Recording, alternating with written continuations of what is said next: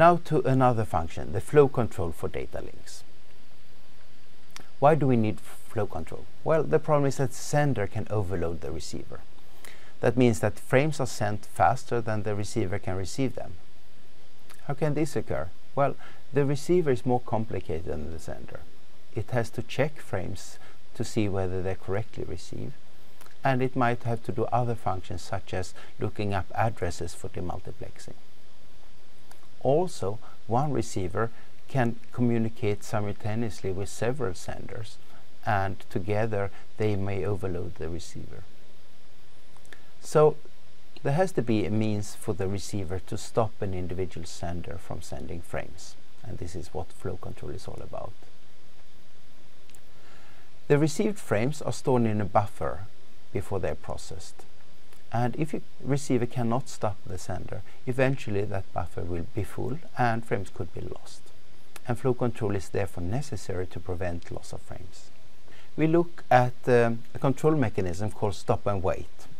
It's a straightforward protocol as you will see, but it has a performance limit and therefore it will be expanded uh, into something called a sliding window. For this section, we assume that all frames that are sent are correctly received. Then later on, we will consider how the flow control can be adapted to deal also with errors. Stop and wait protocol. I will show the workings of the protocol by two time axes, one for the sender and one for the receiver. Time is progressing from top to bottom. So here's an illustration of a sender sending one frame to the receiver. So you see that the frame is sent and sometime later it has been re received at the receiver. If there was no flow control, the sender could continue send the next frame and the next frame and so on and the receiver could then perhaps be overwhelmed by all the data that's been received. But with the stop and wait protocol, the sender can send one frame and then it has to wait for an acknowledgement. The acknowledgement is the right given from the receiver to the sender to send one frame. So the receiver only needs to have buffer space for a single frame, the first frame, that, frame that's been sent. And once that buffer has been cleared, it can send an acknowledgement saying that it's ready for the next frame. And this is how the protocol progresses, very simply. If the receiver should be busy, for instance, receiving data from another sender, it can always stop a sender by holding back the acknowledgement, and therefore the sender be not permitted to, to transfer a new frame. If we look at this protocol, we see here that uh, the link may not be used very well. We have the transmission time, which is the useful time uh, of the link. It is the time from the first bit of the frame until the last bit of the frame goes out on the link. We can compute that time by taking the frame length in bits divided by the capacity of the link in bits per second. And then you see that you get the length of one frame measured in time. The total time is the time from the first bit has been sent out until the acknowledgement has been received and the sender is permitted to uh, send a new frame. If we assume that the receiver is ready to, for a new frame, so it will send acknowledgement as soon as the frame has been received, we get the schematic that I've shown here. And the useful time of the link is then the transmission time divided by the total time. And as illustrated here, you see that the transmission time is just a small part of the total time. The U is, stands for utilization, and is something we would like to maximize. We can get the utilization from 0 up to 100%. And we would like the flow control protocol to allow a utilization of 100% so that if the receiver can handle all the frames that the sender can send, then the link is fully utilized. And it's only when the receiver needs to stop the sender that the link is not used because the sender needs to wait for the receiver. In this schematic here, we assume that acknowledgement does not take any time. And this is a uh, often made and quite reasonable assumption because an acknowledgement consists of a data link frame without any data from the higher protocol layer. So it's the uh, frame header and the frame trailer, which are usually fairly small uh, amounts of data compared to a frame that also carries data from a higher protocol layer. We also assume that the processing time for a frame uh, at the receiver is negligible, but both the processing time and the acknowledgement time could be added to the total time uh, of the denominator. So what is then the total time in addition to the transmission time? Well, it's the propagation that it takes for the signal to go from the sender to the receiver. We can compute that also in time. It's the length of the link divided by the propagation speed of the medium of the link. If the link is in free space, it's a speed of light, 3 times 10 to the power of 8. If it's an optical fiber, it's slightly lower, it's 2 times 10 to the power of 8 meters per second. Often we assume that the propagation time is equal in the two directions, so meaning that the frame propagates in the same time over to the receiver as the acknowledgement propagates from the receiver over to the sender, because they will go over the same link in two different directions. So just to be clear, uh, the transmission time is the time measured uh, from the first bit is being sent out on the link until the last bit is sent out on the link. And the propagation time is the time from the first bit being sent out until the first bit arrives at the receiver. For a symmetrical link, we get the utilization being the transmission time divided by the transmission time plus 2 times the propagation time. We can introduce a parameter we call A, which is the propagation time divided by the transmission time. A is then the number of frames that we could fit back to back on the link. If A is smaller than 1, then less than one frame fits on the link. And if A is greater or equal to 1, then one or more frames fit on the link. We can also look at the length of a single bit uh, on the link just to get the feeling for how many frames could fit on a link of a certain distance.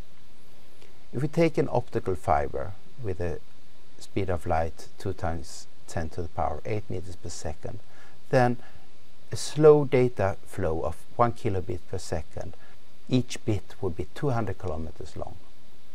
If we increase the data rate to 1 megabit per second, a bit would now be 200 meters. And at 1 gigabit per second, one bit would be 20 centimeters. So you see how a meter of fiber could fit 5 bits in one case, but a meter of fiber would not fit a single bit of 1 megabit to 1 kilobit per second. So what's the solution to the performance if we have A which is perhaps even much much bigger than 1? There's nothing preventing us from permitting the sender to send more than one frame stop and wait was just one frame, but we could extend that. But it means that the receiver has to have buffers for the frames that the sender can send before the receiver can stop the sender. We talk about the sliding window, the window size being n frames. This is the number of frames that the sender will be permitted to send before it receives any acknowledgement from the receiver. We will then choose n so that we can get a high utilization for the link. We assume now that the protocol control information will include sequence numbers which numbers the frames in an increasing order. Both frames and the acknowledgements will be numbered. The acknowledgements will contain the number of the next frame that the receiver is ready to receive. An acknowledgement acknowledges all frames with a lower number than the one that has been sent. So if the acknowledgement is sent with 3, it means that it acknowledges all the frames with sequence number lower than 3 and the receiver is ready to receive frame number 3. This is how we illustrate it for a sending window of size 3. The last frame that has been sent is 0 and it has been acknowledged. So now the sender has right to send three frames, 1, 2 and 3. as it sends them, the window will shrink from the left. Once it, uh, the sender receives acknowledgement, the window will expand to the right, but never being bigger than three frames, because that's the maximum limit that the sender can have to send frames.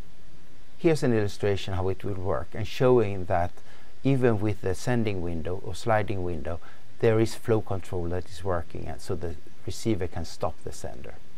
Start with n equal to 3, and the sender can send 0, 1, and 2. It sends frame 0, and has now right to send frame 1 and frame 2. It sends frame 1 and frame 2. So now you see the window is completely closed. It's not permitted to send frame number 3 because the window does not extend over 3. It needs to receive an acknowledgement for at least one frame in order to send one more frame. After frame 1 was received, the receiver was ready to receive frame number 2 and sent an acknowledgement for that.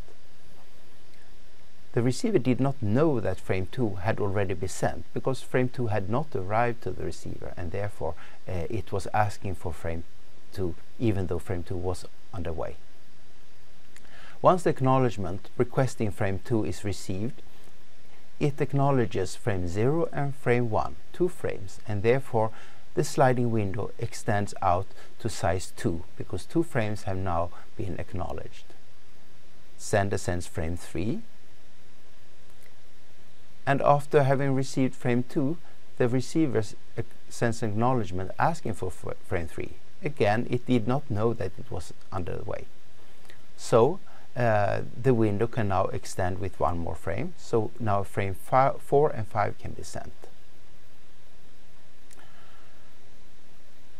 Eventually, an acknowledgement arrives for frame asking for frame 4. All the sent frames have been acknowledged and the window is, is back to size 3, which is the maximum sending right that the sender will have to send frames.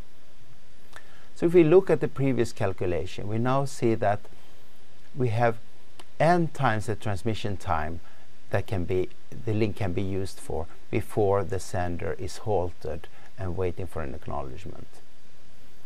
So for a given link, we want a dimension n so that we can get a u which is uh, 1 or greater than 1. Of course, we can never utilize the link more than to 100%, but by having a u greater than 1, we know that the flow control protocol will not limit the utilization of the link. So the uh, dimensioning with flow control is to make sure that n is big enough to have a full utilization.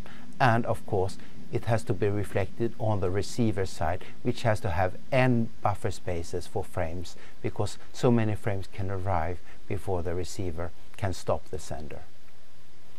If we are unfortunate uh, and have an n which is too small, we will have the same problem we had with stop and wait, that the sender will stop sending frames because it's waiting for acknowledgement and the link will not be fully utilized. And this is something we would like to prevent. So how large should the window be? Well, if n is equal to 1, we have stop and wait.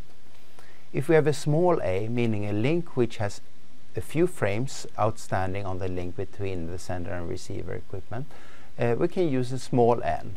For local networks, we maybe have a sending window of 8 frames, which means that the sequence numbers could be 3 bits long in the protocol information. Well, if we have a large A, we also correspondingly need a large N. If we look at TCP, which is on the transport protocol, it uses 32-bit sequence numbers. It's not comparable directly to the data link protocols because here the sequence number indicate byte numbers and not frames, but it indicates also that you need a large sequence number when you have uh, distances which are global, also including that the communication path has been going over geostationary satellites high up in the atmosphere.